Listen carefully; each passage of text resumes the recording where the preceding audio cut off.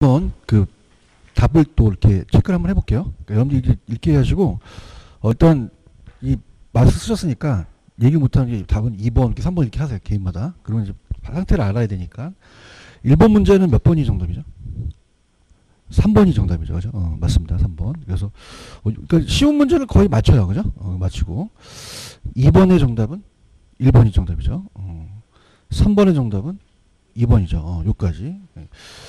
그 다음에 4번서부터가 이제 또 난리 났죠. 4번의 정답은 4번이 정답입니다. 4번의 4. 5번에 5. 5번 맞추셨습니다.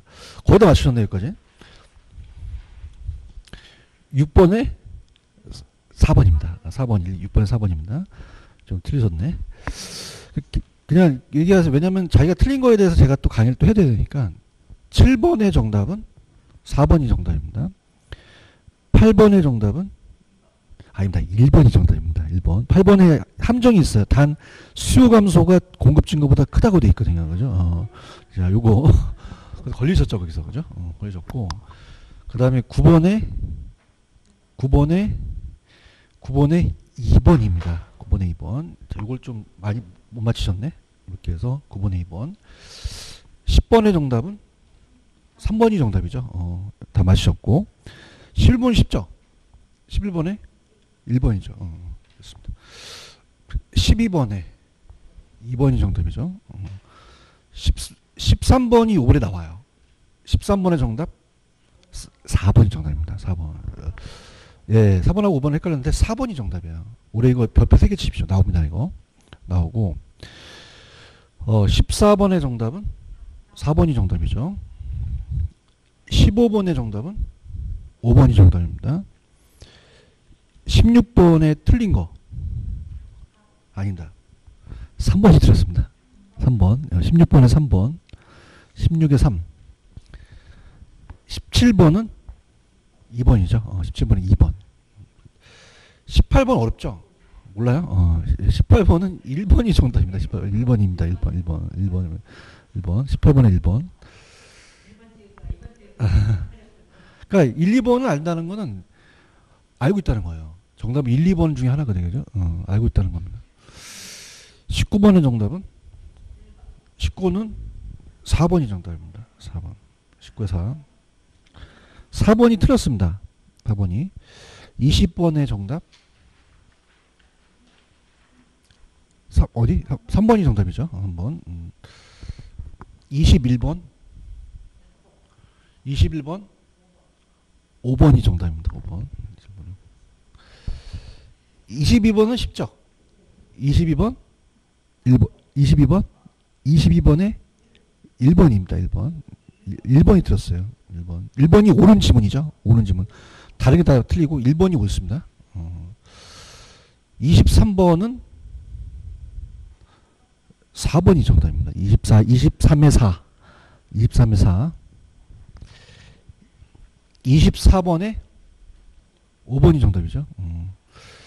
25번은 좀 쉽죠? 1번이 정답이죠. 25번 1번. 26번은 쉽죠? 26번에 3번이 정답이죠. 음. 27번은 좀 걸렸을 것 같아요. 27번은 1번이 정답입니다. 1번. 27번에 1번. 28번에 2번이죠. 29 쉽죠? 29 5번이 정답이죠. 음. 30번은 다른 거는 좀 어려워도 확실히 맞는 게 있죠. 30번은 5번이 정답입니다. 30번에 5. 그 다음에 31번에 옳지 않은 거. 3번이 정답이죠. 음, 3번이 정답. 32번에 틀린 거. 4번입니다.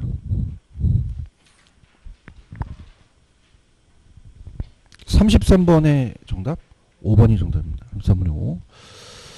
34번의 정답 2번입니다. 35번의 정답 5번입니다. 5번.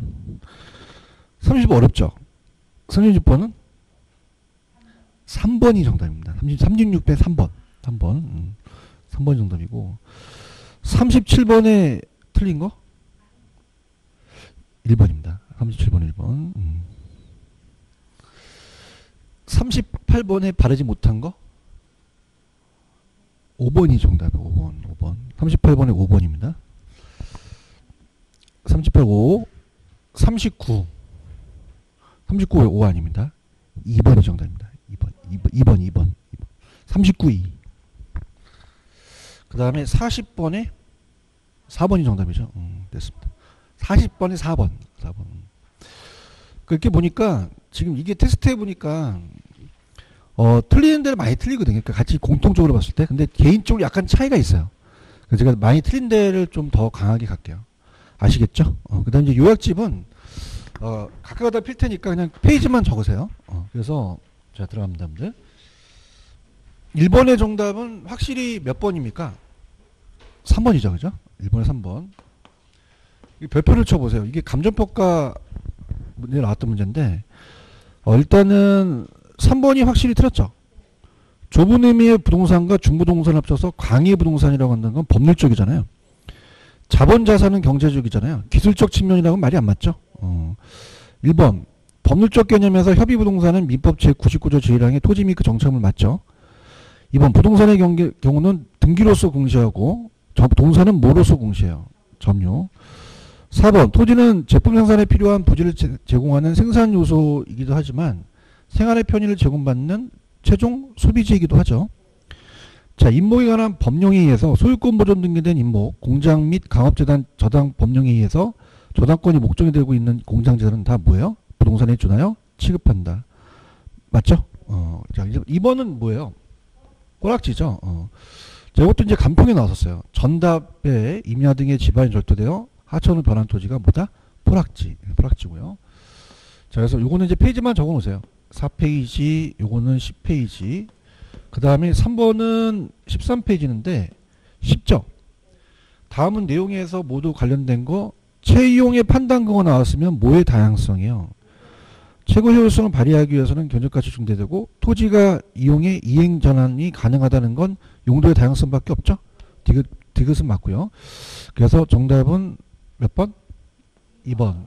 그러니까 여기는 다 맞힌 것 같아요. 그죠? 맞췄는데 이제 그 어, 3번, 4번도 다 맞췄어요. 그죠? 4번은 이제 평이한 거거든요. 되게. 그래서 맞췄기 때문에 여러분들 이제 본다면 23페이지 참조하시고 다음 부동산 수요 및 공급에 관한 설명에다 옳은 것은 자 1번 이자율이 하락하면은 공급자들이 비용을 어떻게 돼요? 감소시키죠. 감소시키고 수요자는 구매력을 증가시키죠. 자 2번 수요 탄력성이 1.4라는 건 탄력적이니까 대체재가 많죠. 그럼 가격을 저가 정책을 써야 되고요. 자 토지 공급이 완전 비틀어 쪽이죠. 그럼 한쪽이 공급이 완전 비라면 그냥입니까? 이건 밑을 찍습니까? 밑을 찍어요. 그 밑을 찍으니까 가격과 양 중에서 뭐가 불변이에요? 양이 불변이고 가격이 바뀌겠죠. 어, 그러면 우리가 지금 어떻게 됩니까? 이 토지에 대한 공급고수가 완전 쪽일 때는 토지는 이거는 뭐예요? 특성은 무슨 성? 보증성이죠. 보증성. 증가시킬 수 없다는 거. 그 다음에 4번은 비가더라는 거 아시죠? 어, 그래서 그냥 비가더로 암기하세요. 비타를 쪽일 때는 가파르니까 뭐가 더 크다? 가격이 더 크게 바뀌겠죠. 그죠? 음, 그래서 정답 4번. 수요가 증가하면 가격이 오르는데 비타를 쪽일수록 가격은 더 크게 상승하죠. 그런가요? 그 다음에 이제 5번에 가시면은 아까 연결되는 부분이었어요. 그러면 공급이 완전 미터러 쪽일 때 수요가 감소를 하게 되면은 그냥 다 양은 안 바뀐다. 가격은 하락하죠. 양은 변하지 않는다. 어, 그 정답은 4번이 정답이죠. 이렇게 해보고요. 자, 5번도 다 맞히셨습니다. 거의. 예, 거기서 5번도 다 맞히셨기 때문에 46페이지를 참조하시고 들어보겠습니다. 46페이지 참조하시고 들어볼게요. 자, 5번입니다. 부동산 및 부동산 시장의 특성에 관한 설명 등 옳은 것은 자, 기업 아파트 가격이 상승하면 대체적인 오피스텔 수요가 증가하니까 가격도 상승하고 부동산 시장의 주요한 기능에는 경제 주체의 지대 지임에 따라서 토지용의 유형을 결정하는 것도 기능이에요. 맞고요. 개별성 때문에 대체재가 적잖아요. 일반 재화에 비해서 대체 가능성이 높다? 낮죠. 어, 낮고요. 그 다음에 부동산은 개별성이라는 특성에도 불구하고 자원 배분의 기능을 수행하죠. 자고가 정량에 자가 있으니까. 그 다음에 이렇게 해보세요. 따라서 단비 장탄. 단기는 비탄력, 장기는 탄력. 그러면은 공급이 단기로 가 단기보다 장기로 갈수록 더 완만해지겠죠. 음, 그럼 정답은 5번이 정답이죠. 음, 그런가요? 음, 그 다음에 자 6번도 많이 틀려 하실 거라고 봤는데 많이 맞히셨어요? 아, 많이 틀렸죠? 6번은 응용 문제거든요. 굉장히. 그래서 많이 틀리셨는데 자 일단은 여러분들이 지금 6번은 29페이지를 참조하시는데 어, 균형 가격과 균형 양이에요. 그럼 여기서 가장 좀 어려운 게 1번입니다. 그죠? 수요는 대체 가격, 가격이죠. 그럼 대체재가 상승하면 수요가 어떻게 된다? 증가해요. 근데 공급은 반대로 움직입니다. 근데 공급의 대체재는 아직 시험에 안 나왔어요. 그러니까 예를 들어서 생산면에서 아파트가 가격이 상승하면 아파트 공급을 늘려요. 근데 반대 빌라 공급은 줄어들죠. 그러면 아파트 가격이 오르면 빌라가 주니까 이건 오히려 공급이 감소합니다. 반대로 가셔야 돼요. 그죠? 어, 그래서 따라해 보세요. 가격은 반대다. 그 수요와 공급자는 가격은 반대로 가잖아요. 그러니까 대체재 가격 상승 오히려 공급이 감소합니다. 요거 이해 가시겠습니까?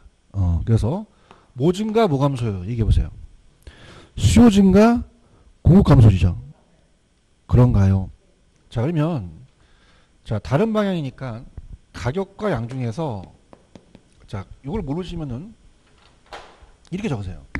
얘는 가격 상승 양도 증가를 하고요. 얘는 양만 감소하고 가격은 올라가거든요. 그럼 갖다 보세요. 가격은 수요에 따라 간다. 양은 알 수가 없는 거죠. 반대니까. 음, 그래서 그럼 우리가 가격은 상승한 건 맞죠? 그죠? 근데 양은 감소합니까? 알 수가 없습니까? 증가 불변 감소 또한 알 수가 없죠. 그래서 수요 증가 공급 감소는 어, 반대 방향이니까 가격은 무조건 수요에 따라서 상승해요. 근데 양은 알 수가 없다고 되고요. 그 다음에 2번 뭐가 뭐보다 크대요. 그러면 수요 증가가 더 큰 거죠. 그럼 공급 증가를 무시하죠. 그럼 그냥입니까? 둘 다 다 올라갑니까? 가격도 상승하고 양도 증가라고 하셔야 되죠. 어. 자, 그 다음에 3번은 보완제 가격과 나는 반대죠. 수요 면에서 보완제 가격이 하락하면 내수가 증가를 하겠고요. 그 다음에 기술 진보는 공급이 늘어나죠. 자, 이제는 같은 방향이에요. 그럼 이것도 이제 설명해 준다면 얘는 가격 상승, 양도 증가합니다. 근데 얘는 양만 증가하죠. 가격은 반대잖아요. 그럼 그냥 야 양만 따라가. 가격은 알 수가 없죠. 왜? 반대 방향이니까. 음, 그래서 우리가 어떻습니까? 요거는 수요 증가, 공급 증가니까 어떻게 됩니까? 양은 반드시 증가하고 가격은 알 수가 없다라고 가셔야 되죠. 그런가요? 정답은 4번인가요? 음, 4번. 자, 모의 감소가 뭐보다 크대요? 수요의 감소가 공급 감소보다 크니까 모의 감소를 따를 수밖에 없어요. 수요 감소. 그러면 가격도 하락하고 양도 감소하겠죠. 그런가요? 자, 5번도 수요 증가가 공급 감소보다 크다. 그럼 수요가 더 증가했죠? 수요 증가니까 가격 상승, 양은 증가겠죠. 그렇죠? 어, 그래서 정답은 몇 번이다? 4번이죠. 음, 이해하셨죠? 음, 그 다음에 와, 그 다행히 이제 7번 문제를 많이 맞추셨어요. 어, 그러니까 7번을 지금 많이 틀려 하시거든요. 그죠? 7번이. 별표 3개 치십시오. 어. 얘가 가장 유력해요. 우리 그 계산 문제에서. 그죠? 가장 유력한 가격 탄력성과 소득 탄력성인데 잘 맞추셨습니다. 그래서 요건 이제 오답이 많은데 그래도 많이 공부를 하셔서 맞히셨어요. 정답은 4번이죠. 어, 자, 합니다. 요건 이제 32페이지 참조하시고 자, 수요의 가격 탄력성은 제가 이렇게 표현해서 가격 변화율에 대한 수요량의 변화고요. 자, 수요의 소득 탄력성은 소득 변화율에 대한 수요량의 변화로 갈게요. 자, 그러면 이제 요거는 결론적으로 물어 먼저 물어봤기 때문에 일단은 임대료도 가격이 똑같거든요. 그러면 수요에 대한 임대료의 가격 탄력성이 이고 가격이 몇 퍼센트가 상승했어요? 10%다 아파트를 얘기한 거죠. 그러면은 20%만큼 아파트 수요가 감소를 했음에도 불구하고 4%가 증가했죠. 그러면은 소득이 늘어났기 때문에 그렇죠. 양이 늘어난 거죠. 그죠? 음, 그래서 1이라는 건 정상제잖아요. 그죠? 음, 그러면 자, 20에서 4를 더하면 24%만큼 늘어났으니까 소득이 24%가 증가하게 된 거죠. 아시겠습니까? 어. 요거 별표 치셨습니까? 어, 그 계산 문제에서 가장 유력한 문제예요. 얘는 우리가 빠지지 않는 문제이기 때문에 체크하시고 8번은 저한테 걸렸죠. 뭐가 뭐보다 커야 되죠. 음, 그렇죠. 어, 그래서 아까 냈는데 또 낸 거는 제가 어, 이제 어, 어차피 이제 이렇게 두 번 연달아 나오진 않아요. 근데 어머니 이제 조금 공부를 더 해보시라는 게 뭐냐면 단이라는 게 있습니다. 단 뭐가 뭐보다 크대요. 그러면 수요 감소를 따르자는 거죠. 음, 그죠? 그러니까 8번은 수요 감소 쪽으로 가라는 얘기예요. 그럼 가격도 하락하고 양도 감소한다는 거죠. 음, 그죠? 어, 그래서 이제부터 점이 단을 좀 보셔야 됩니다. 아시겠죠? 그죠? 음, 그래서 8번의 정답은 1번이 이, 맞고요. 자, 9번도 많이 틀었어요. 많이 틀었습니다. 그죠? 음, 9번은 이렇게 볼게요. 자, 9번은 어, 주택 수요의 공급의 가격 특성에 대해서 다음 설명 중 가장 틀린 것을 잡을게요. 이렇게 가세요. 자, 여러분들이 지금 여기서 얘가 물어본 건 뭐냐면 수요가 증가하면 가격이라는 게 나오잖아요. 근데 가격이 증가 감소는 물어보지 않았잖아요. 폭만 물어본 거잖아요. 그러면 자 보세요. 자세히 저리 생각해 보세요. 서 있는 게 가격이죠. 누워 있는 게요. 양이란 말이에요. 맞나요? 그럼 상대편이 공급이 탄력적이라는 건 그냥입니까? 공급 공급이 누워 있습니까? 그러면 뭐 폭은 작겠어요? 가격 폭은 작고 양의 폭이 늘어나죠. 대답하셔야 됩니다. 그러면 가격 변동 폭은 작다는 거죠. 완만하니까. 이해를 하셔야 됩니다. 이해하셨죠? 응, 이해하셨고. 그 다음에, 자, 우리가 이제 비가 더부터 할게요. 4번, 5번을 묶어보세요. 근데 4번을 보시니까, 자, 공급이 증가하면 양이 증가하잖아요. 근데 비탄력이라는 건 어떻게 됐죠? 가파르잖아요. 그죠? 그럼 수요가 가파르다는 거는 그냥입니까? 가격 폭은 작습니까? 가, 가격 폭은 크죠. 크고 양이 폭이 적죠. 어. 그러면 비탄력적일수록 공급이 증가하면 양은 적게 증가하는 거죠. 아시겠습니까? 어. 그 다음에 5번은 탄력적이죠. 탄력적은 그냥요 완만해요. 그러면 가격 폭은 작고 양의 폭이 넓겠죠. 그럼 탄력적일 때는 수요 감소하면 거래량은 더 많이 감소하겠죠. 어. 이해하셨습니까? 어, 그러니까 요 문제는 뭐냐면 1, 4, 5번은 탄력적일 때는 양의 변화가 크고 가격 변동이 작고요. 그런가요? 비탄력적일 때는 뭐가 크죠? 가격 변화는 크고 양의 변화는 적겠다는 얘기를 뉘앙스를 가르쳐 드린 거예요. 무슨 말씀인지 아시겠죠? 음. 이해 가시겠습니까? 음. 그 다음에 2번, 3번은 뭘 이해하면 자 이렇게 할게요.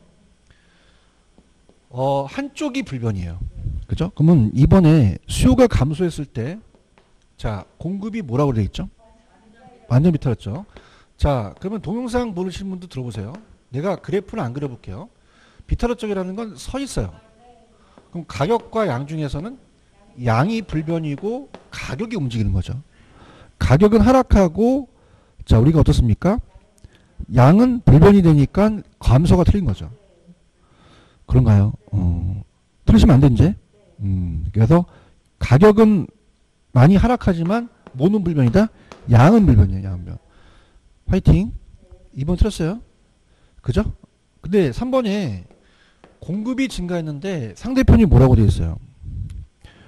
어, 그러면 수요가 완탈이죠. 그 완전 탄력적은 옆을 찍잖아요. 뭐가 불변이죠? 가격이 불변이고 양은 증가하겠죠. 아시겠죠, 그죠? 음. 그러면 어떻게 됩니까? 가격이 변하지 않는다는 건 맞죠. 음. 많이 틀리셨습니다, 이거. 어, 그래서 정답 2번이 정답이에요. 어, 아시겠죠, 그죠? 음, 꼭 체크하시기 바랍니다. 이게 어, 시험 문제 잘 나와요. 그죠? 어, 그래서 어, 우리가 비탄력, 탄력, 완전비, 완전 탄력 그걸 연습하셔야 됩니다. 이런 거를 이제 다음 주에 빠지시면 안 돼. 특강하죠, 다음 주에. 그래서 한꺼번에 모아서 불러요. 다음 주에 빠지시면 굉장히 후회하십니다. 아셨습니까? 어, 그다음에 이제 또 저번처럼 이제 전도 좀 하시고 어. 내가 볼 때 다음 주에 좀 늘어날 것 같은데. 그죠? 어, 하여튼. 어. 내 생각인가? 그래서 다음 주 굉장히 중요해요. 이런 걸 테마 강의로 가거든요. 음, 그래서 이렇게 해서 정답 몇 번이 틀렸다? 2번. 어, 10번은 다 맞추셨어요? 10번 들어갑니다. 48페이지인데 10번은. 자, 갑니다. 정답은 3번이 정답이죠. 자, 이렇게 생각해 보세요. 여러분, 투기는 돈 벌려고 해요. 초과 이윤 때문에요. 초과 이윤 때문에 하지 돈 벌려고 한 건 아니잖아요. 그럼 누구나 누구보다 더 얻을 수 있는 게 초과 투기하는 것이지 정상이만 얻기는 투기하는 거 아니잖아요. 그럼 초과이 발생했잖아요. 그럼 할당이지 못하기 때문인 거죠. 어. 그런가요?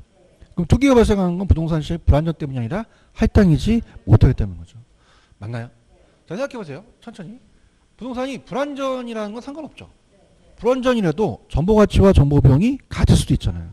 불안전 때문이 아니라 할당이지 못하기 때문에. 근데 중요한 거는 투기와 초과에는 비읍이 안 들어갔죠. 그럼 불안전 찍으셔야 돼요. 할당이지 못하기 때문에 들어갔다. 할당이 못하 찍어야 되고 만약에 정보 비용이 수반한다는 건 비읍 들어갔죠. 뭐 때문이다? 불안전 찍으셔야 돼요. 아시겠죠? 그죠? 어, 요거. 요것도 특강 때 터뜨립니다. 특강 때. 정답은 몇 번? 3번. 자구가 정량 아시죠? 부동산 시장의 기능. 자가 뭐죠? 자구가 정량만 하면 어떻게 자원 배분의 기능이잖아요. 자원 배분. 미치겠어. 씨. 가가 가격 창제의 기능이죠. 두 가지 다 기능 다 있죠. 매도자 시장은 올라가잖아요.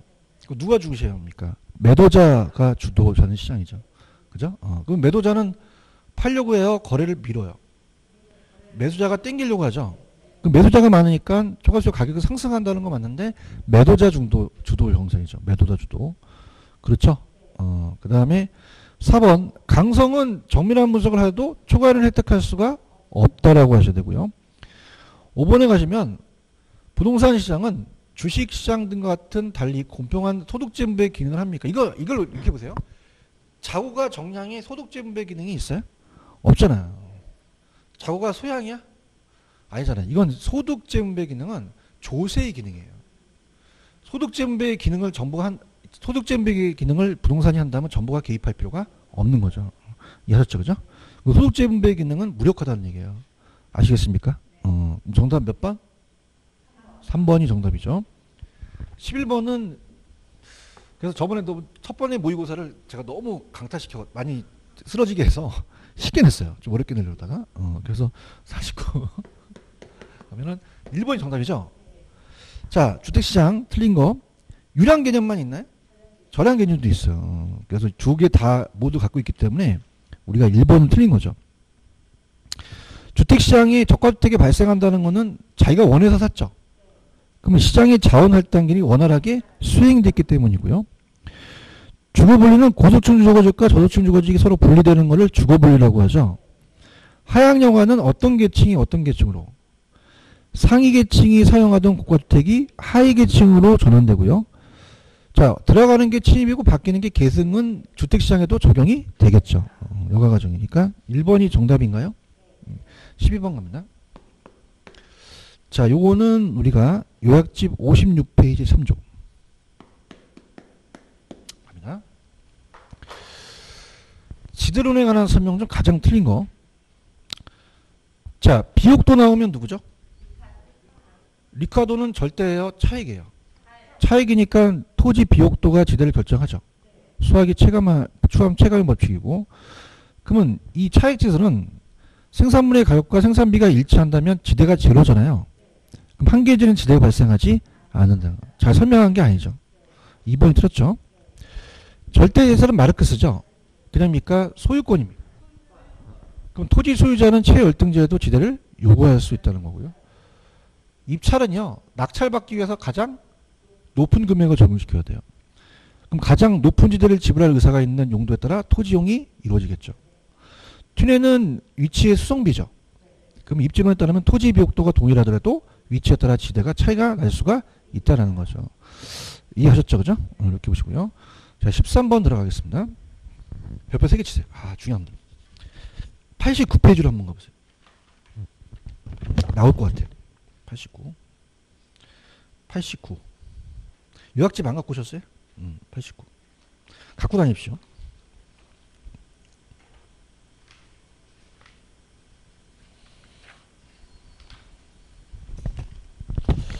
자, 우리가 그 요약집에 지금 음, 여러분이 어디로 이제 좀 더 가시냐면 직접 개입과 간접 개입을 볼게요. 어, 페이지로 가시면은 우리가 어, 직접 개입과 간접 개입 그래서 페이지로는 76페이지입니다.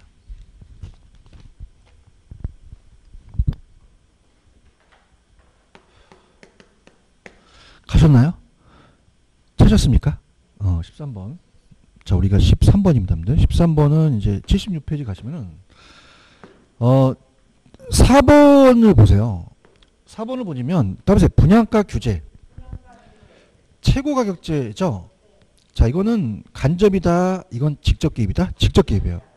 자, 그래서 시험 문제가 우리 시험 문제가 최고 가격제가 임대료 규제나 분양가 규제예요. 그럼 임대료 규제나 분양가 규제는 자 이거는 간접 개입이다, 직접적 개입이다. 직접적 개입이에요. 그렇죠.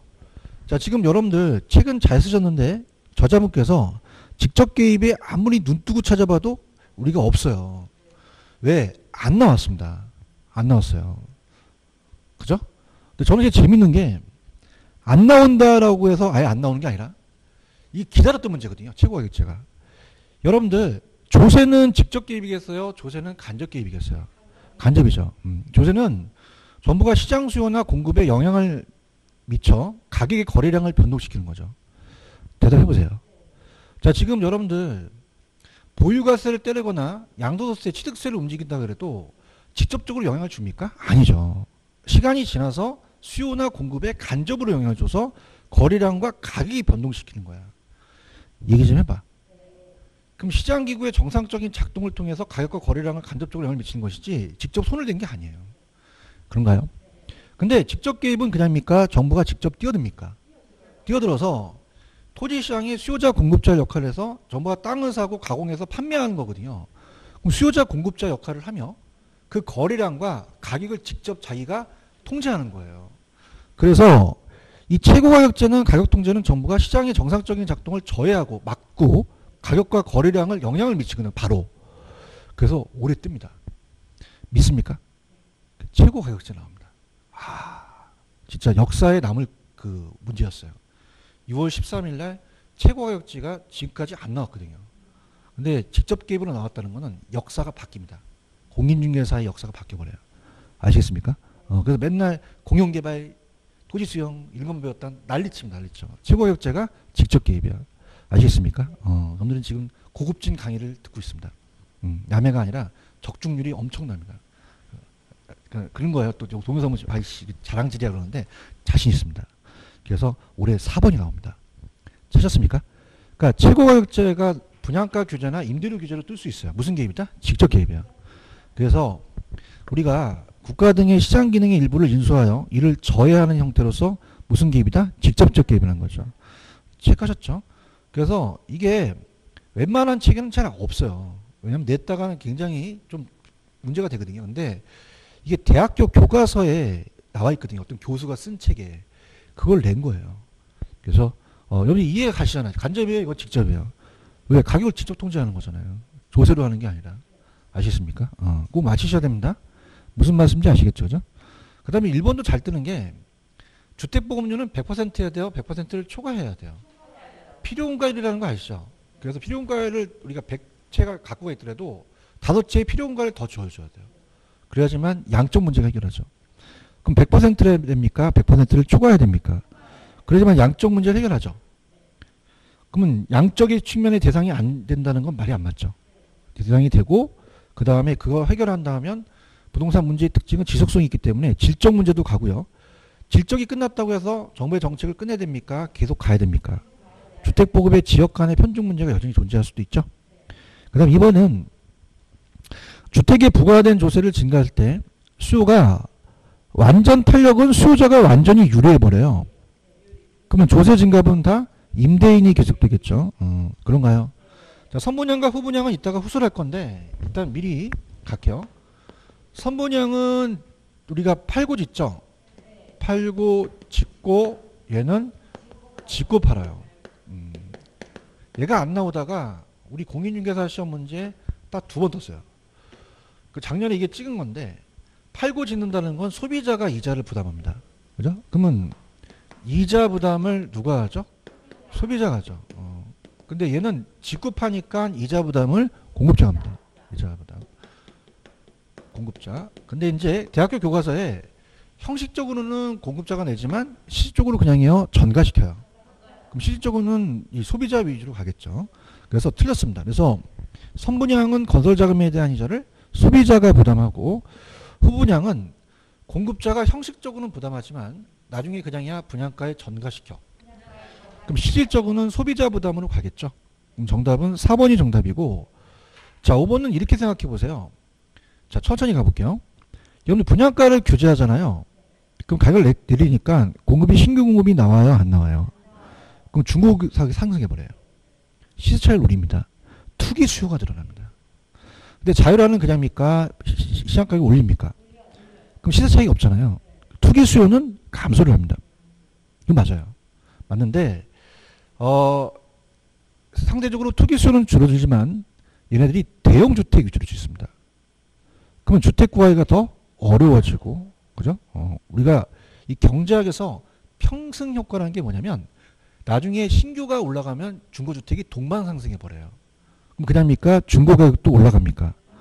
그럼 저소득층에 대한 주택난이 크게 기여하는 게 아니라 심화된다는 거죠. 어, 아시겠습니까? 어, 4번이 정답입니다. 체크하세요. 음, 그렇죠? 음. 그 다음 14번도 많이 맞히셨는데 자 따라보세요. 시장의 실패 정부의 실패 자 그래서 요거는 넘겨보세요.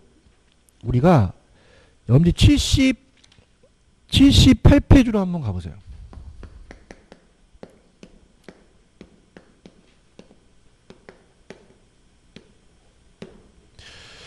(78페이지는) 뭐의 실패의 원인이 있죠 어 그러면 (14번에) (1번) 독점이라는 단어 있나요 독점 때문에 시장이 실패되잖아요 개별성 부중성 때문에 독점을 유발할 수 있어서 부동산 시장 기능을 저해하겠고 이번에 가시면 부동성 때문에 외부 효과 있죠. 외부 효과도 시장이 실패다 보니까 자원의 효율적 배분이 어렵죠. 정은 과소 생산되고 부는 과대 생산되잖아요. 그 다음에 3번 거래 당사자가 정보가 대칭이에요 비대칭이에요. 정보의 차이가 있으니까 거래 질서가 물란해져서 시장이 실패입니다. 그런데 1, 2, 3까지 맞고 5번 공공지 있죠. 무슨 승차?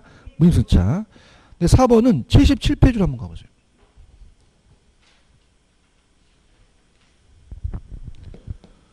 조그만 박스의 제목이 뭐라고 돼 있죠? 정보의 실패라고 돼 있죠. 음.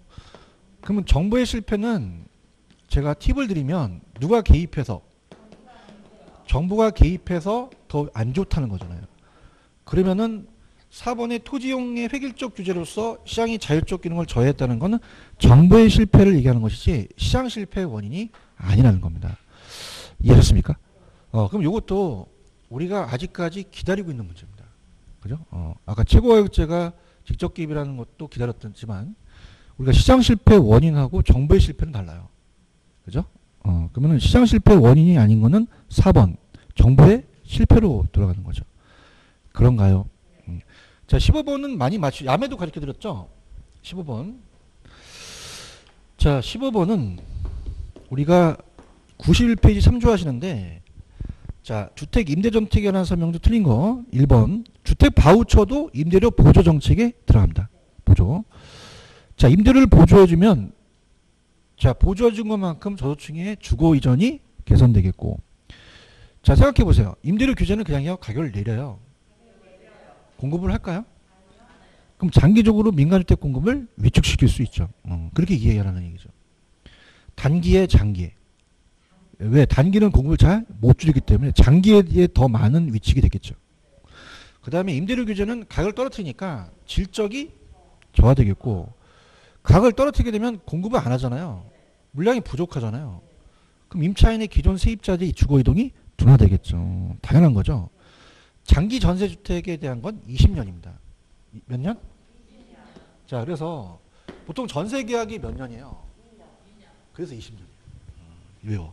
어, 아시겠죠? 어, 그래서 몇 년? 20년. 그래서 장기 전세 주택 같은 건 국가지자체, 한국토지주택공사 또는 지방공사 임대할 목적으로 전, 건설 또는 매입을 주택으로 20년 범위 전세계약 방식으로 공급한다는 건 대박이야 이거. 그죠? 그래서 그러면 그냥 무주택자가 돼요. 아 이건 재테크인데 이것만 되면 대박이야 대박. 그죠? 어, 근데 별걸 다 가리키는데 그럼 1주택자 되려면 하나 거주 거주도 거주 목적도 되지만 그 나중에 양도세 낸다 안 낸다 안 내잖아요. 이건 대박이야 대박. 어. 많이 신청하세요 이거. 어 나 이거 아 됐으면 좋겠어. 근데 다주택자라서 안 돼. 자, 그래서 어 이게 진짜 대박이야 대박. 20년 범위 가잖아요. 그럼 20년 또 계속적으로 재테크 하면 돼요. 그죠? 왜 무주택자니까. 어, 어, 별걸 다 가르쳐 주네. 씨. 그죠? 어, 그래서 안 되는데 일단 안 되지만은 이제 분양권 자체도 그렇지만은 일단 분양권도 근데 근데 분양권은 분양권도 주택으로 들어가기 때문에 분양권 안 사고 그냥 1주택 갖고 2년 또 보유하고 비과세 받고 2년 보, 보, 비과세 받으면 되는 거지 뭐 그죠? 어. 음, 2년에 한 번씩 가- 강의하면 되니까 어. 뭐 재테크 강의는 아니니까 그죠? 어. 나중에 유튜브로 재테크 강의나 해볼까 진짜 어. 나보고 재테크 강의 많이 하라는 거예요 중에서는데 하여튼 정답은 몇 번, 어. 제가 유튜브 하면 잘, 잘할 것 같아요? 어, 아, 그래서 나중에 씨, 어, 알았어. 그래서, 어, 그래서 나중에 이제 조금 조회수를 많이 높이려면 이런 강의 많이 해야 돼. 음, 그래서 유튜브를 많이 해서 많이 올려야지, 그지? 어, 그래서 하는데 이제 중요한 거는 그 유튜브가 굉장히 타겟이 많, 많아요. 유튜브 자체가 이제 그 정부의 타격을 많이 받기 때문에 조심해야 됩니다. 조심해야 돼. 그래서 정답은 몇 번이다? 5번이죠. 어, 좋은 정책이에요. 그렇죠? 음, 정책이고 16번 갈게요. 지역 지구제는 어, 요약집을 한번 가볼게요. 많이 들었어요. 81페이지. 이 지역지구제가 어, 예전에는 나왔는데 지금 잘 안 뜨는 상황인데 일단 81페이지 찾았습니까? 천천히 가볼게요. 근데 틀린 거를 잡아볼게요. 지역지구제입니다. 자, 주택과 주택과 주택이 있는데 공장이 있어요. 어울려요? 어울리지 않아요? 그럼 어울리지 않은 걸 어울리게 하는 게 토지용 규제죠. 토지용 규제. 그 다음에 이게 시멘트를 내려버리는 거는 주거 전을 바뀝니다. 그죠? 그럼 이거는 정회복가다, 부회복가다. 부회복가도 시장이 실패죠. 그 외부 효과 해결을 하죠. 그래서 제거와 감소를 해요. 그래서 1번. 자, 지역지구제는 토지용 규제, 부회복가 제거 감소 목적이 있다. 맞나요? 맞죠? 넘겨보세요. 자, 그러면 2번. 단기적이라는 단어가 있나요? 단기는 공급이 됩니까? 안 돼요. 그죠? 어, 자세히 들어보세요. 그럼 단기와 장기 효과가 나오는데 단기는 주거 전용주로 바뀌면 쾌적성이 증가해서 수요가 늘어납니다.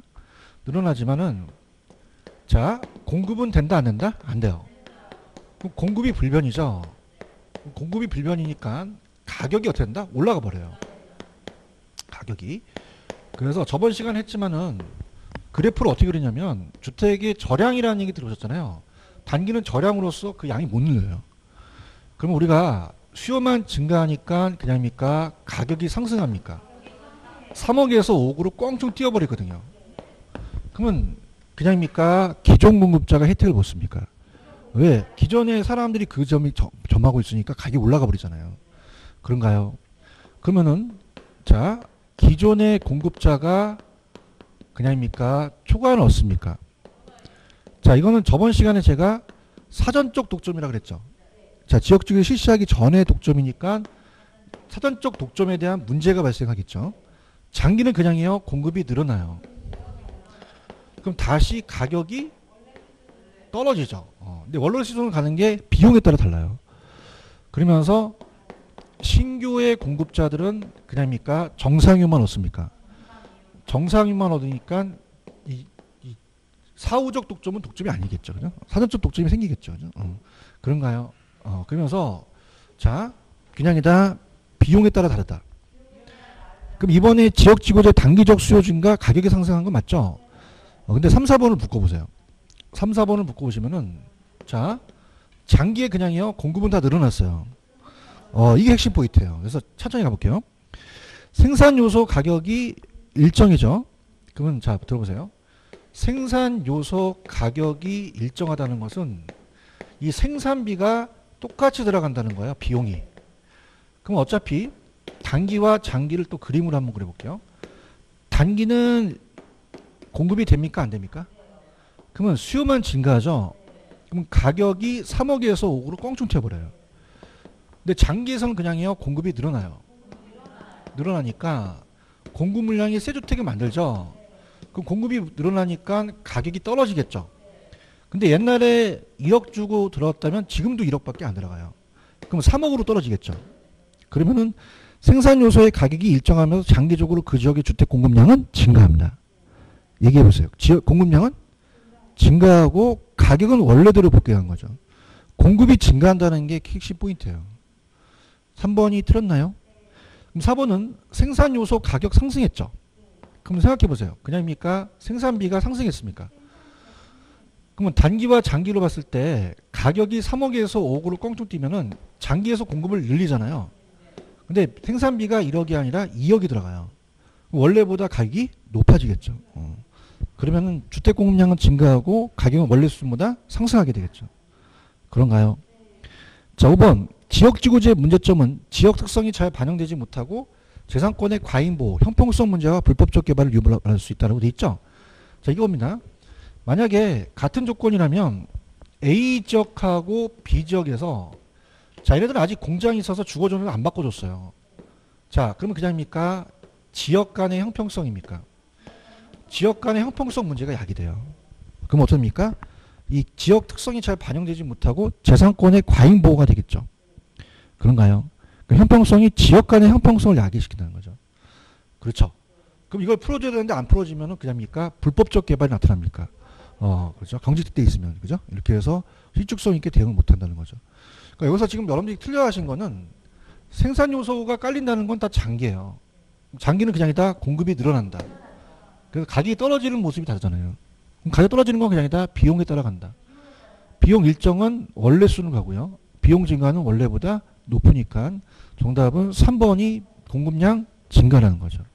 근데 희소식은 한 15년 전부터 이렇게 끊겼어요. 단기 장기가 좀 안 나오는 취지거든요. 그죠? 어, 근데 또 아까 말씀드렸지만은 어, 이게 끊겼다고 해서 안 하면 안 됩니다. 그죠? 어, 이게 혹시라도 어, 조금 이제 어떻습니까? 출제원이 뒤에 있는 출제까지 또 뒤집어요. 그렇기 때문에 가죽은 가져야 됩니다. 그러니까 제가 이제 이거는 늘 마지막에 모의고사나 이때쯤 터트려요. 왜냐면 어차피 절 보세요. 어차피 제가 어 1, 2월에 터트리나 지금 터트리나 그때 까먹거든요. 어, 그래서 아예 지금 보시는 게 낫거든요. 어, 그래서 아예 시험 문제 임박해서 이런 문제는 하시는 게 좋아요. 아시겠죠? 그죠? 어, 그럼 정답은 몇 번이다? 3번이 정답이 되죠. 되셨죠? 오늘 됐습니다. 조금만 쉬었다가 갈게요. 어.